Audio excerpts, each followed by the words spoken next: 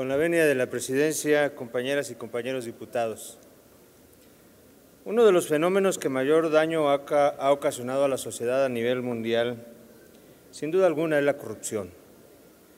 El concepto eh, es un concepto muy amplio, incluye soborno, fraude, apropiación indebida u otras formas de desviación de recursos. También puede ocurrir en los casos de nepotismo, extorsión, tráfico de influencias, uso indebido de la información privilegiada para fines personales, así como la falta de ética pública. En cualquiera de estas modalidades y conductas, la corrupción causa un enorme perjuicio y frena el desarrollo económico y social de una nación.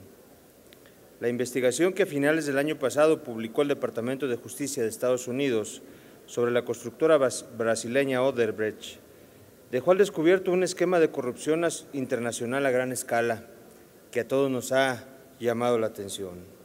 Se reveló que funcionarios públicos de al menos 12, de al menos 12 países recibieron entre el año 2001 y 2016 una cantidad incalculable de millones de dólares en sobornos por parte de dicha empresa a cambio de contratos millonarios en el ramo energético. En México, la relación de Odebrecht con Pemex presenta serias irregularidades como sobrecostos, incumplimientos en contratos, asignaciones directas y pagos ilegales. Es de suma importancia que frente a estos hechos, que sin duda han ocasionado un profundo daño no solo económico, sino también social, se tomen acciones contundentes pero imparciales sin caer en juegos de botines políticos.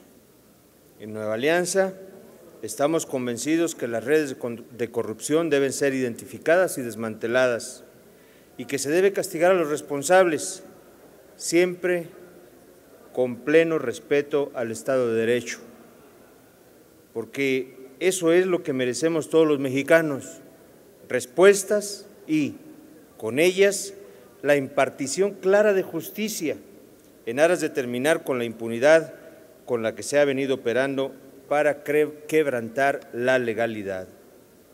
Para Nueva Alianza, impulsar una vida sin corrupción que propicie la legalidad y la transparencia es un principio rector y una tarea de todos los días. Estamos ciertos que para hacer frente a este gran lastre no es suficiente crear leyes que lo sancionen. Se requieren cambios en términos estructurales que sean acompañados de acciones sistemáticas que propicien el desmantelamiento de estas redes de corrupción que, por desgracia, se han enquistado en grandes sectores del país y del mundo. Por su atención, muchas gracias. Es cuanto, señora presidenta.